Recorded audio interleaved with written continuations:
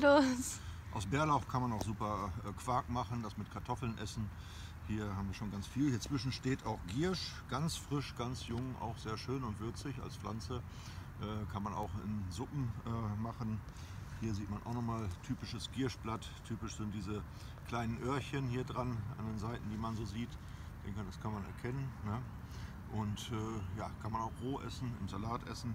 Man kann aber auch ähm, jungen Löwenzahn äh, in den Salat nehmen.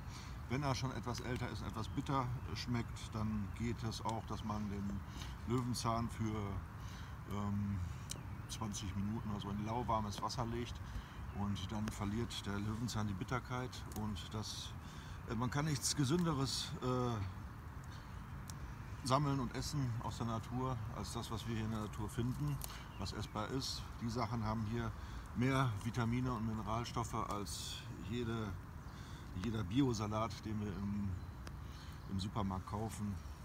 Wenn wir Bärlauch sammeln, müssen wir darauf achten, dass wir das nicht direkt am Wegesrand machen, sondern im Wald, weil die Hunde da dran pinkeln würden zum Markieren des Weges und vielleicht auch der Fuchs.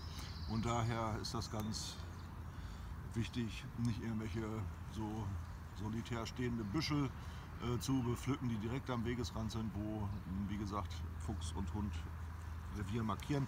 Dann kann auch nichts passieren, von wegen Angst wegen des Fuchsbandwurmes.